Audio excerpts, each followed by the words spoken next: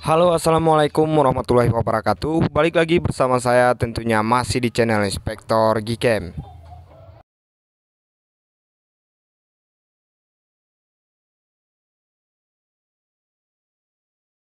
Oke teman-teman semuanya. Jadi di video kali ini saya akan bagikan lagi sebuah tutorial Cara menginstal Gcam yang cocok untuk perangkat Infinix Hot 20i Dan Gcam ini udah support mode malam kemudian mode makro dan juga mode ultrawide. Untuk fiturnya juga udah lumayan cukup lengkap. Jadi seperti apa untuk langkah-langkah pemasangan Gcam-nya dari awal? Simak terus video ini sampai selesai jangan di skip-skip dan sebelum kita lanjutkan ke videonya bantu support channel ini dengan cara like, comment, dan subscribe. Aktifkan juga lonceng notifikasinya. Agar nanti kalian semua tidak ketinggalan info terbaru lainnya tentunya dari channel Inspektor Gcam Oke jadi untuk langkah yang pertama tentunya kita membutuhkan aplikasi Gcam-nya. Caranya kalian masuk ke deskripsi video ini. Setelah kalian masuk ke deskripsi video ini Kemudian kalian download link Gcam yang pertama ini ya teman-teman. Kalian langsung klik aja seperti ini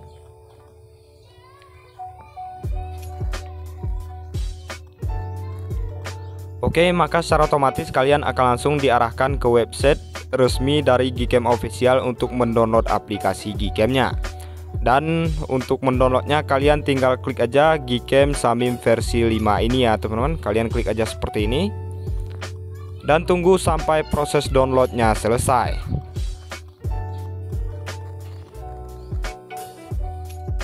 Oke, jika aplikasi Gcam-nya udah berhasil kalian download, kemudian kalian tinggal install aja untuk aplikasi Gcam-nya melalui browser atau melalui file manager yang ada di HP kalian. Oke, kita langsung install aja. Contohnya seperti ini, teman-teman. Langsung kita install seperti ini. Dan tunggu sampai proses instalasinya selesai.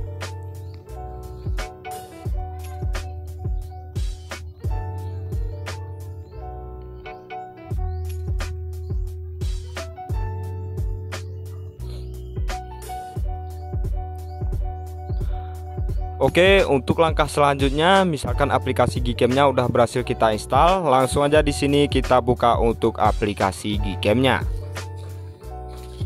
Saat pertama kali kita menginstal Gcam, maka untuk tampilan awalnya akan seperti ini. Maka di sini kita klik izinkan, kita izinkan aja aksesnya sampai selesai. Oke, dan misalkan udah terbuka seperti ini, berarti Gcam-nya udah berhasil kita install dan udah siap untuk kita gunakan.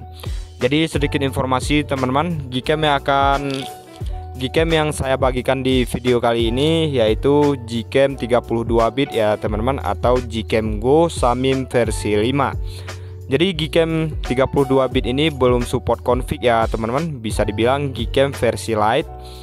Jadi untuk perangkat Infinix rata-rata belum support Gcam yang 64 bit kecuali nanti kalian custom ROM atau kalian uh, eh, UBL terlebih dahulu kemudian kalian pasang kernel ya teman-teman. Dan Gcam yang saya bagikan di video kali ini untuk fiturnya udah lumayan cukup lengkap. Di sini udah ada mode malam juga kemudian ada HDR kemudian di sini juga udah ada flash ada timer juga kemudian ada retox wajah. Jadi fungsi retox wajah ini untuk memperhalus kulit ya teman-teman Kemudian untuk rasio gambar bisa kita ubah juga ke rasio gambar yang 16 banding 9. Kemudian di sini juga udah ada mode potret yang bisa kalian gunakan untuk objek orang supaya latar belakangnya nanti jadi bokeh atau ngeblur ya teman-teman. Kemudian di sini udah ada juga filter. Filter ini bisa kalian gunakan juga ya teman-teman. Kemudian kita lihat di mode video dan untuk mode video juga di sini support ya teman-teman.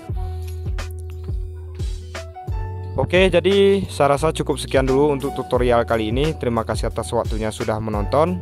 Semoga bermanfaat. Nantikan juga Gcam dan tutorial menarik lainnya tentunya dari channel Inspektor Gcam